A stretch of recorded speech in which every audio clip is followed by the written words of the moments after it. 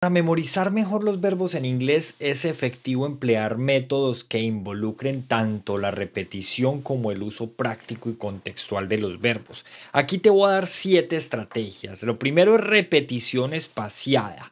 repasa, perdón, los verbos regularmente, aumentando gradualmente el intervalo de tiempo entre cada revisión.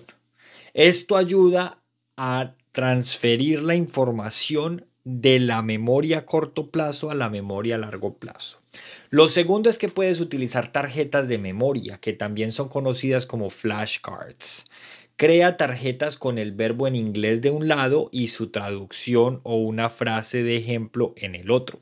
Y las utilizas regularmente para autoevaluarte. Yo creo que todos alguna vez en nuestra vida lo hicimos en el colegio, en la escuela, como lo llames, en el instituto, no sé.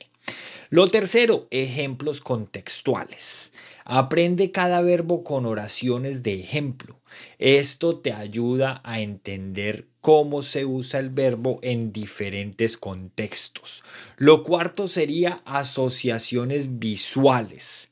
Crea asociaciones mentales o visuales con cada verbo. Por ejemplo, para el verbo run, que es correr, puedes visualizar a alguien corriendo o por qué no visualizarte corriendo. Tu mejor versión es la mejor, la versión fit.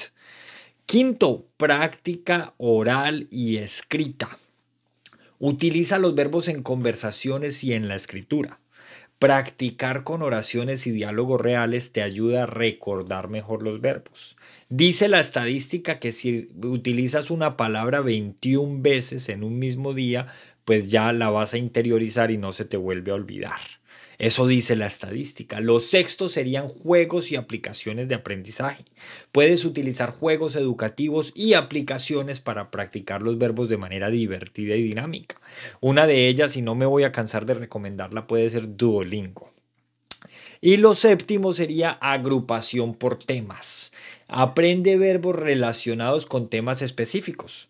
Por ejemplo, hoy vas a aprender los verbos relacionados con deportes, mañana con cocina, el próximo día con viajes y así vas a ayudar a contextualizarlos y recordarlos más fácilmente. O también aprender los verbos relacionados con tu disciplina, con tu actividad eh, laboral.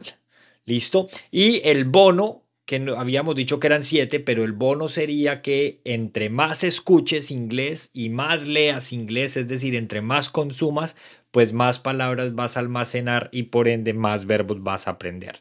Recuerda que la repetición constante y el uso práctico son claves para memorizar y retener palabras de manera eficaz, pero además también para aprender cualquier actividad en la vida. Sigue para más.